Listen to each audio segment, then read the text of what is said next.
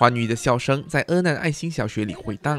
这个周末，老师回校参与一堂近似语师资培训课程。It is called the Jing Si aphorism. In Bihar, mainly in Bihar state, many many teachers are, teachers have knowledge only reading and writing, not activities.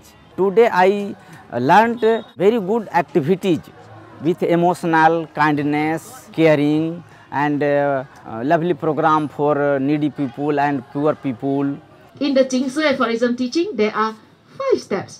印度菩提迦耶阿难爱心小学的老师受邀来了解体验式教学的魔力，让学生在活动过程中学习正确的价值观。I want you to take off wa- your shoe, one shoe. Take off your socks. मुझे शुरू में beginning hours में ऐसा लगा कि ये very difficult है जो अ, मैंने पॉसिबल नहीं है पैर से लिखने के लिए हाँ Before that, you must say, I can do it.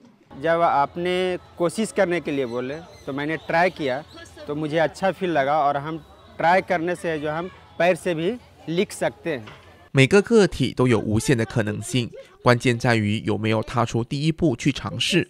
教学也一样，勇于接受新知识，为学生点亮另一盏明灯。 If you smile, everybody like, right?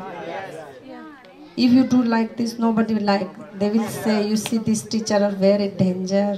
हम क्लास में मैं क्लास में अगर जाऊंगी तो सबसे पहले अपने चेहरे पर स्माइल लेकर जाऊंगी और सारे बच्चों को डिसिप्लिन में करना सिखाऊंगी क्लास गंदा ना करे 来到这里，我们只是想付出， 然后也想传达这个付出的精神，因为这个就是佛陀要我们做的事情。我们应用这个生命，就是要来利益众生，就这样简单而已。所以今天看到他们也是有这个接受，and 他们也要发挥这个精神。